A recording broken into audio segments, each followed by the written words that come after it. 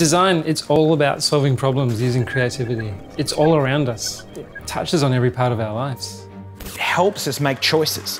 It equalises everything and it helps big ideas to cut through. It's the perfect way to change the world. What if our imagination could help shape the future? What if we could answer problems with greater solutions? We are at a special point in time when technology is opening a huge opportunity for us. It's all about finding out how to change the world for the better in which we can communicate and create. What if we stood at the frontier of innovation? There is a set of bleeding edge technologies that are going to dominate the future landscape. What if our ideas could serve the greater good? It's challenging, it's hard work, it's not easy, but it is incredibly rewarding. What if we could express ourselves in different ways?